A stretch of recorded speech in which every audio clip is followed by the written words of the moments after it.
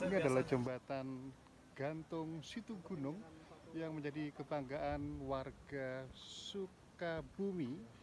tepatnya di kawasan Kadu Dampit. Kadu Dampit ada di Cisaat, Kabupaten Sukabumi,